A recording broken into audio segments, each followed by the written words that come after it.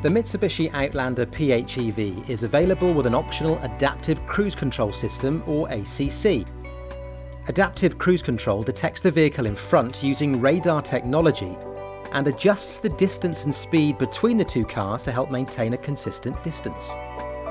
It also helps avoid the possibility of collision by preventing the vehicle at the back from exceeding the speed of the vehicle in front.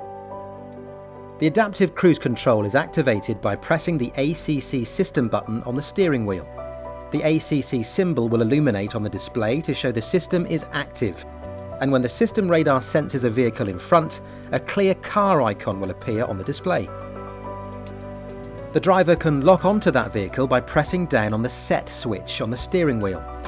The car icon and road depiction on the display will turn white and a beep will sound to notify the driver that the adaptive cruise control is now set. The current maximum speed is also shown on the display and can be adjusted up or down by the driver using the controls on the steering wheel.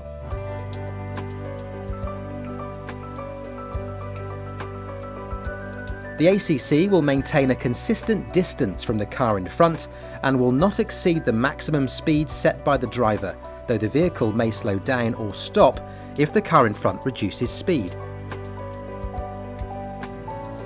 The driver can also adjust the vehicle to vehicle distance by pressing the distance button on the steering wheel. Three preset distances are available. The shortest distance,